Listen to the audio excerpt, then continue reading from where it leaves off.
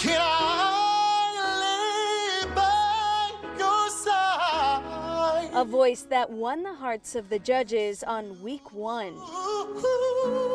Yes, that's the voice of a Modesto native, 25 year old Ryan Hammond. I've been waiting for this moment forever, but for it to like actually be here, it's it's like I don't know, you can't even believe it's happening. This hometown son of a church pastor made it through Hollywood Week.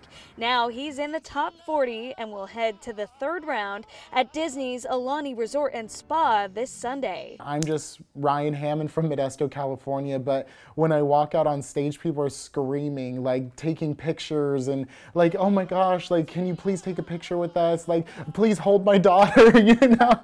With big dreams of someday touring across the nation and selling out venues, he hopes to use this platform to tell his deeper story. I did over the last year and a half lose 170 pounds. Excuse wow. Me? Even opening up to the judges about his emotional transformation on day one. What if there's one person out there who never realized weight loss surgery was an option and it's a matter of their health being you know on the line in 10 years versus having a surgery they never heard about and being like oh okay i can do this without feeling ashamed He says watching every single season of American Idol inspired him to audition for the show three times until he finally got through to the judges on his third try. whatever your dream is don't give up on it because it's all about the right moment the right time